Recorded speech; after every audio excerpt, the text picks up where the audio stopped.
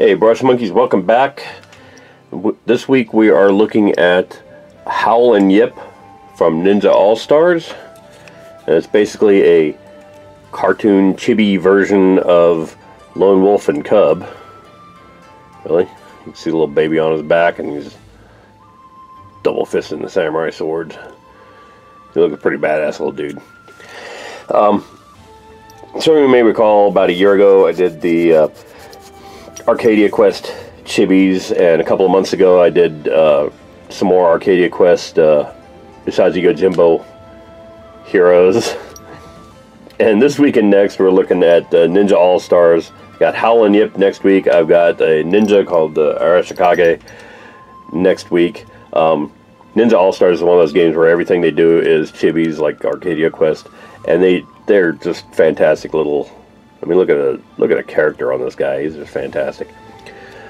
So I'm looking forward to getting getting in on him. I like painting chibis. It's kind of a, a fun break from painting more realistic looking figures. And they're a fun little challenge to try to get that sort of cartoony anime style right. Um, as usual, I've got my uh, mini manager here with all the uh, pictures plotted out based on uh, his picture based on his box art. So I'm going to try to stick as close to that as I can. I also want to talk for a second about this little resource. Um, this is just a website that I printed out. Um, unfortunately, I don't have the website on me, but basically, if you do a search for ethnic skin tones, there's a big um, article that covers all kinds of not well i'd say non-white skin tones but it actually does get into white people a little later on.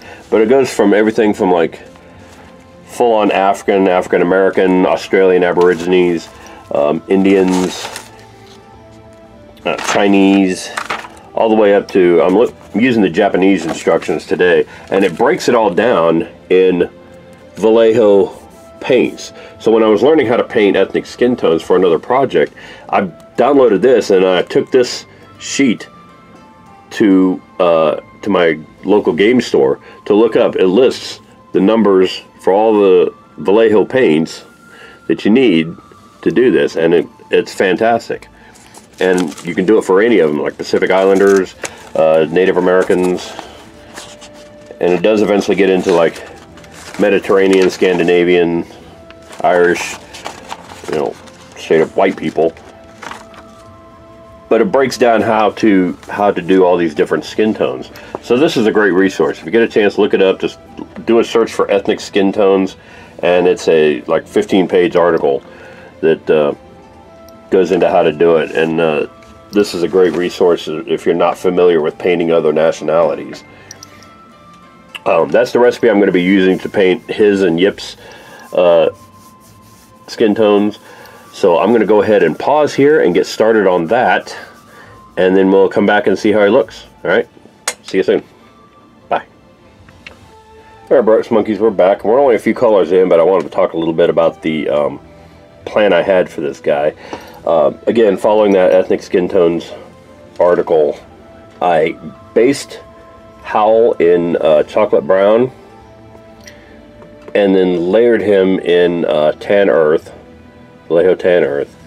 For Yip, I wanted a slightly lighter skin tone, so I based him in the Tan Earth and layered him in Cork Brown. Now that Cork Brown and basic skin tone are going to be the highlights for Howl. Uh, but first I'm going to shade wash both of them with Secret Weapon Flesh Wash. Now, Secret Weapon Flesh Wash is one of those weird things that I've bought uh, four bottles of it now, and I've got four different colors of Flesh Wash. Like one's a little more brownish, this one's a little more yellow, um, one's a little more reddish, and the new one seems to be a little bit kind of orange. it's like they can't come up with a consistent. Normally, I love Secret Weapon washes, and these are fantastic washes. Um, but they're a little inconsistent on their colors from bottle to bottle. Um, so you may be wondering why I bought four bottles of Flesh Wash. Is because between the first and second bottle, um, I uh, I kind of forgot that I had flesh wash already. and so when it came time to, yeah, between between this bottle and this bottle, I kind of forgot I had flesh wash already. So, um,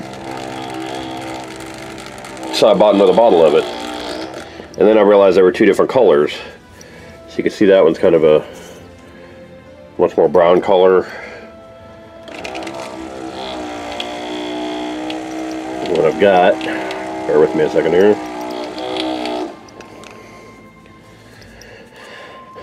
So the one I'm using is a little more, it's kind of hard to see, but kind of hard to see on camera, but the one I'm using, it looks a little more brown on camera, but it's actually a little more yellow.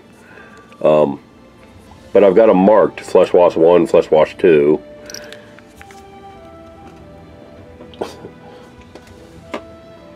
So there's part of the fun. And then the third one I picked up is this one, this Flesh Wash. And it's uh, quite a bit more reddish orange.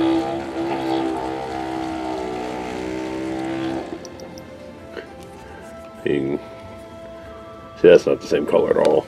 So this is the one I'm using on the guys. I'm going to let the um, skin dry a little bit, and then I'm going to give it a shade wash. And then when we come back, like I said, I'm going to um, highlight Howl with the cork brown, and then highlight it do a further highlight with the basic skin tone and with uh, Yip I'm just going to give them the highlight of the basic skin tone and leave it at that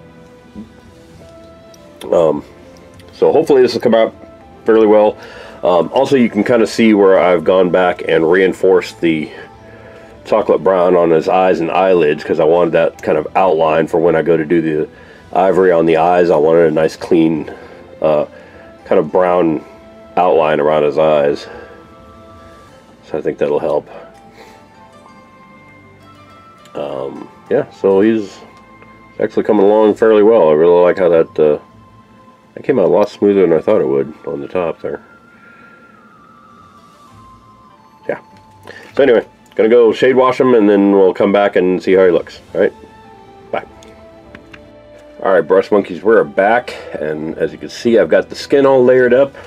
I thought it might be a little hard to tell what was going on with the skin without everything else being painted so I went ahead and did the eyes as you can see there and I did the hair got that nice nightmare black on the hair. So I'm pretty chuffed with how he's coming out so far. He looks pretty good. A little angry little samurai angry little cartoon samurai guy. Did his teeth and everything. Um, so so that's that so far. Um, I'm gonna do his uh, Gi and Hakama next. And then um, yeah, I'll do the gi, the hakama, and the little uh, Baron thing that, that he's got Yip in, and then we'll come back and take a look at it and uh, see how he looks. All right, see you soon. Bye. All right, brush monkeys. I've made some more progress on our guy here. I've got his gi and his hakama painted and highlighted up, and he looks pretty good.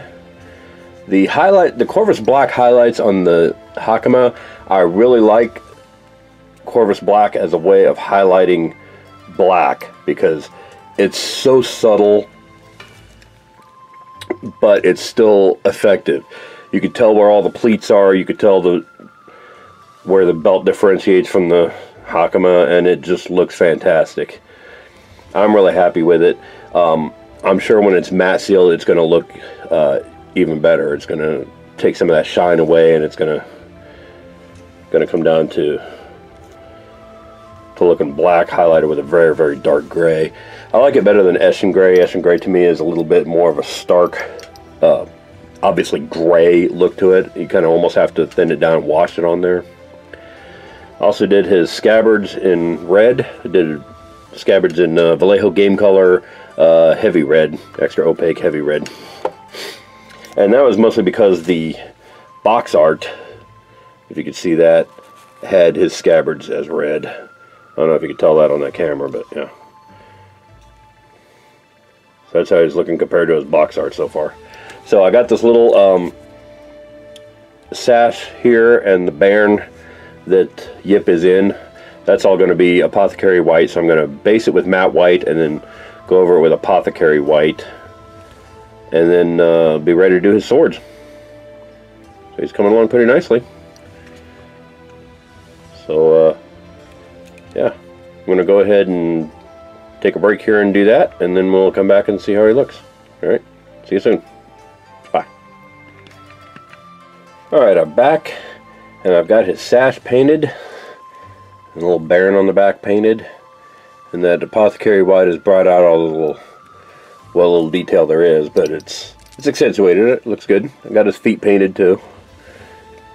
There, and he's looking pretty spiffy. I really like how he's looking so far. So I got his swords left and his base. The swords are basically just going to be black and steel, Reaper Master Series. Uh, yeah, black and steel. And then um, a little bit of uh, the Reaper Master Series Pathfinder Crusader Silver for the edges of his blades. There. And then uh, his base. I'm going to do the wood planks here in uh, Zandri Dust and the sand in Ushabti Bone. Both and the rocks with uh, Mechanicus Standard Gray. And I'm going to wash all that with Agrax Earthshade. And then uh, probably highlight, highlight it a little bit. Um, if nothing else, I'll at least dry brush everything with the Tyrant Skull to kind of bring out that wood grain and the sand and what have you. So yeah. And then uh, his base band I think is going to just be black. So he's going to look pretty spiff. So I'm going to go ahead and do the swords, then take a break. And then I'll come back and uh, we'll take one last look at him before I do the basing. And then after the basing he's going to be pretty well done. So I got two more segments to this video. So I will see you soon. Bye. Alright, we're back and I've got his swords all painted up. They look pretty good. Pretty happy with how those turned out. So all that's left to do on him is his base. And I decided to change things up a little bit. Instead of doing um, the boards in uh, Dust,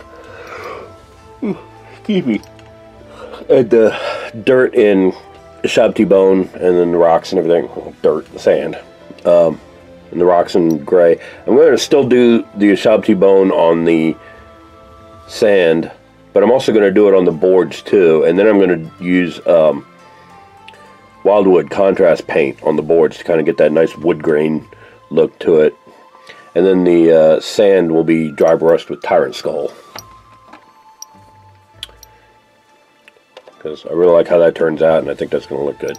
Um, the rocks, I'm going to do uh, Standard Gray still, and possibly a light dry brush of Dawnstone So and then his baseband is going to just be black. So I'm going to go ahead and uh, pause here and go do all that. And then uh, next time you see this guy, I think he's going to be completely done. All right. So I will see you soon. Bye. There he is, boys and girls. Our finished uh, Howl and Yip from the Ninja All-Stars game. I'm pretty happy with how he turned out.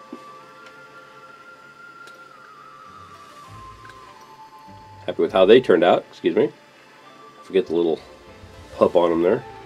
It's Ninja All-Stars take on uh, Lone Wolf and Cub. Little cartoony version. I think it looks pretty spiff. So I'm going to go ahead and call it a day on this one. Next week we'll start in on Arashikage, the ninja. So one samurai, one ninja. thanks for watching. Now we'll see you guys next week. Bye.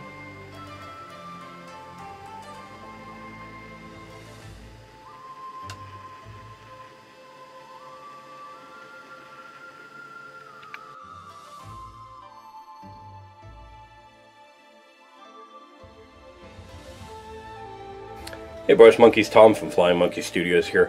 If you like what you see, click like down below. Um, if you want to be notified when new videos come out, click subscribe. And uh, in the meantime, if you want to see how to add one of the miniatures that we've painted on this channel to your own collection, check out our Instagram, uh, Tumblr, and uh, Patreon sites.